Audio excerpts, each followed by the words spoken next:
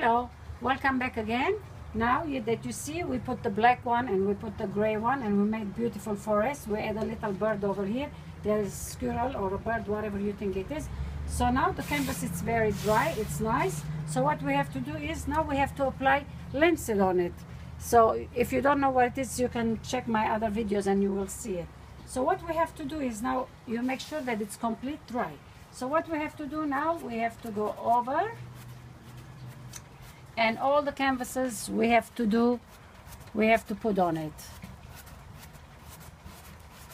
So you make sure that it has to absorb, you have to be very, very careful that you're not gonna do too, too much because later on it might leak on you. It might drip like tears. So make sure that you kind of like spread and you do crisscross, crisscross. You have to make sure, even if it's dry, don't feel that it's dry. You go over and over and over.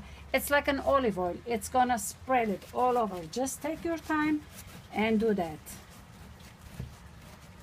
Don't let it stay lump. So we have to do this. So later on we're gonna do our last step and you're gonna see what a beautiful picture is gonna be.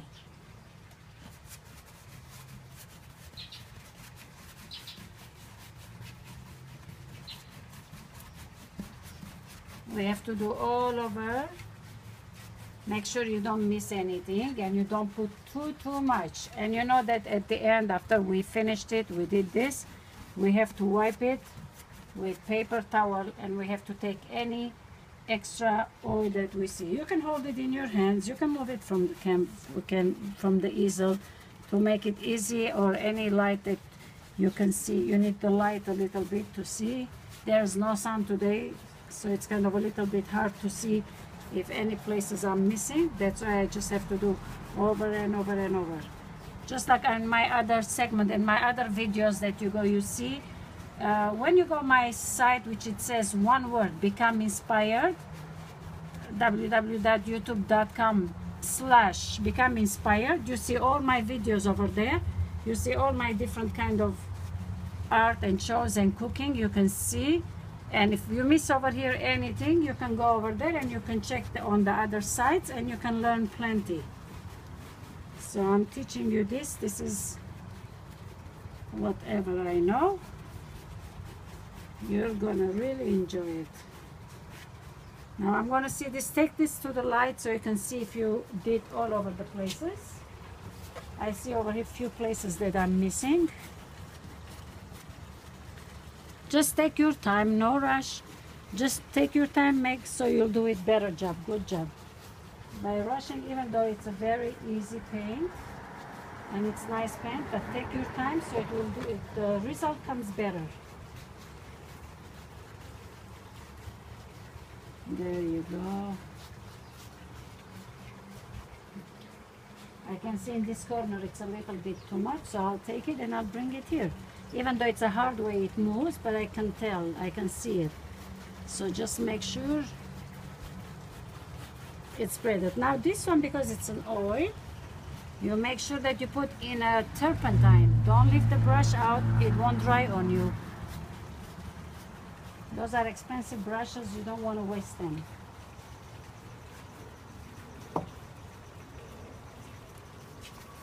I think it's looking pretty good there you go. All right. Now we see that it's done.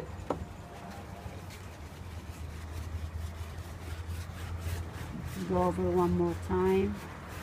Go left and right, go crisscross. Just make sure that it's spread very, very, very nice always make crisscross so this in into the canvases uh, you know it's a material so it can go in every little part of the canvas. There you go. All right. Now we're gonna put this here and we're gonna take a paper towel and wipe it excess excess of anything that there is you think it's excess. Just take it and wipe it tap it if you think any place it's too much or whatever. I think it's pretty good. Now what do we have to do? Close this thing. Because still we're going to use the brush. So what we have to do is... Alright. Now any color you want you can put. I need phthalo blue and forgive me I need another blue.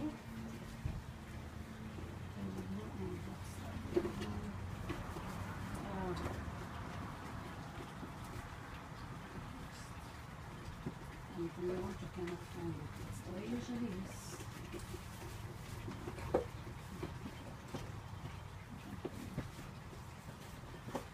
Alright, well, if I can find, how here it is. We need phthalo blue and Prussian blue. There you go.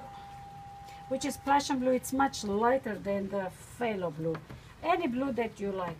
So now, we have to start from the corners. You can even add white if you want. So what I'm going to do is I'm going to add a little bit from both. Anytime you start from the corners, you know, that's always higher it will be darker just like this because it's a forest and it's a dark it's more darker and by time goes down it gets lighter and lighter. So we have to start from the top. Now you will see the kind of magic that already your forest you can do um, I think even you can do it on with the yellow one. Any color that it's transparent you can do it. Now when you start from the corner because the color is new. When you're uh, putting on a brush when you're putting on a brush it's really strong it is. By the time you go down it gets lighter and lighter. So make sure that always the corners are goes lighter I mean darker. And by the time you come in the middle it will be lighter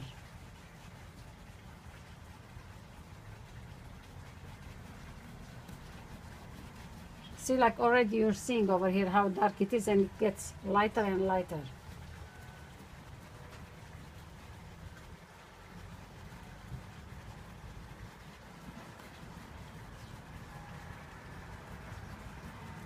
If you want, you can even mix it with a little bit white color over here to be even more whiter. But you just do the corners much darker because that's deep it's going far away that's what it is.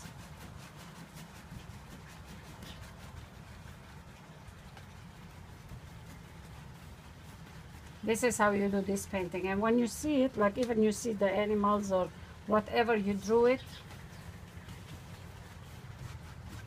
just take your time and enjoy it and see how you like to do it. And this way it's a kind of a magic painting it is I will put a little bit, maybe I will add a little white over there and for the middle part. And in case if you want to add it, always try to keep it a little bit on a clean, so don't don't put too much uh, too much blue, so it will look more.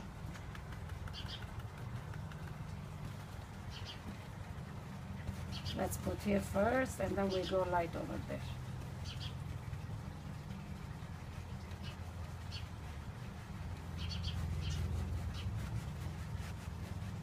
And then because the light is sitting this way oops, the light is sitting this way so go white with the white make a line going towards this way. The way you see over here how I came it's a forest but the sun is sitting that way and it's coming this way. So this time it's going this way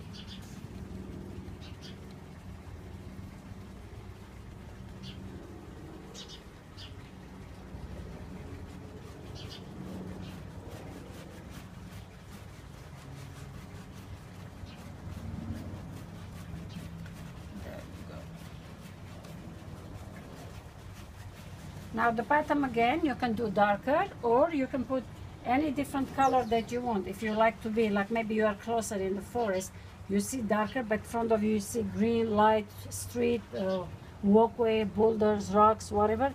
You can always put it, whatever you want.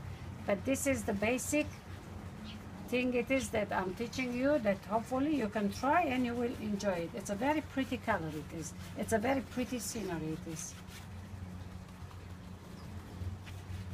You can even mix over here with a little black if you want the bottom because it's a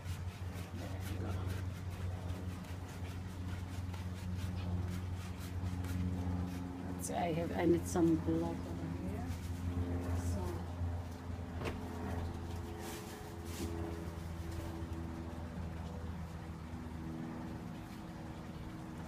To do a little bit darker the bottom or you can use like I said grasses green rocks. You can after you finish this for example you can add it later on too. You don't have to do all together. But for now this is the thing I'm showing you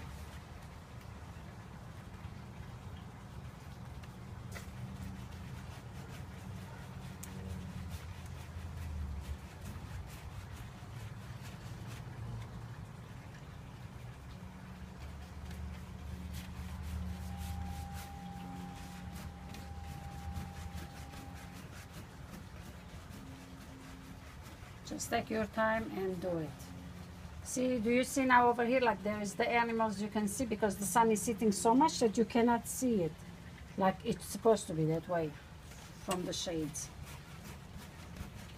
And just do crisscross, you know, go up and down and blend together. But wherever the light is over here, for example, you just kind of try to blend going outside. Put the white if you want before and you can just like going through like this and try to blend it. So it makes it softer and softer for you. And then you can go slightly pushing this way. So well I hope that you try this painting because this is the most easiest most simple painting it is and it's so beautiful. Like I said you can do anything you want. You can try to add any kind of uh, sceneries any kind of you can even do from the back uh, from the back from the beginning mountain. Everything with black you do and then you put the color and here become very very beautiful painting for you. Just don't rush. Take your time over here because I'm just showing you. At least you get the idea what it is and then the rest you can always add whatever you like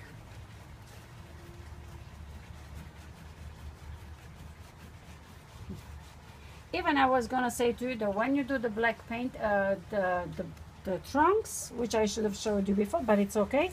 You can make uh, the trunks like you can add little white on it uh, let's say I'm gonna just show you a sample. Let's say this is the trunk. Before you finish it with the white gesso on a black gesso trunk you can add a little bit branch uh, a little bit color like this by uh, giving a shade or the lightness, more lightness, like the sun is hitting this way, the light, and it gives more lighter. So you can put a little bit lighter color in the front with the small brushes or with the with the um, spack uh, with the knife, and it will give you very good scenery. You can do that.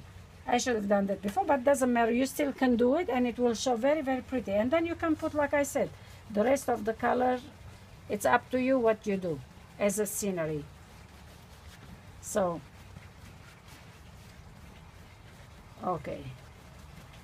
Well still I have to play with it but this is the you got the idea you know what it is and how to do it. It's very beautiful and I hope you'll try it and you will do it.